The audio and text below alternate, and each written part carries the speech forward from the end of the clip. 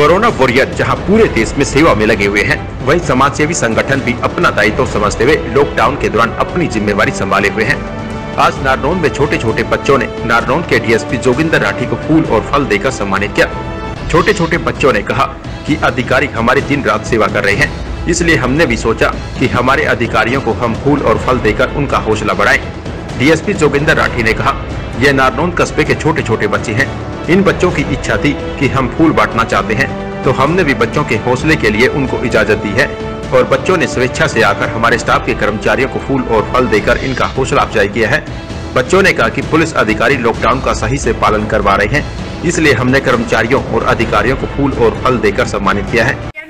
विकास यादव तथा डीएसपी श्री विजेंद्र राठी के दिशा निर्देश, के दिशा निर्देशों में लॉकडाउन का पालन पूरी तरह अच्छे ढंग से करवाने के लिए पुलिस कर्मचारियों को फूलों के गुलदस्ते देकर उन्हें सम्मानित किया गया। धन्यवाद। जय हिंद, जय भारत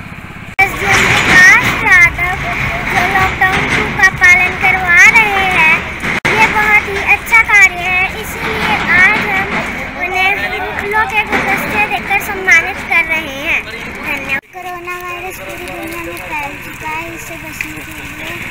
हमें अपने हाथ से मास्क लगाकर रहना चाहिए और मास्क लगा के रखें लॉकडाउन टू का सफलतापूर्वक पालन किया गया है इस कारण हमने नारनौल के डीएसपी जोगिंदर राठी व एसडीएम विकास यादव का फूल देकर सम्मानित किया है ये बच्चे हैं, साथ में ही पीछे वाली इसी कॉलोनी के बच्चे हैं। इनकी इच्छा थी कि हम फूल बांटना चाहते हैं। हमने कहा, बच्चों का अगर इतना ही मन कर रहा था तो बांट दो।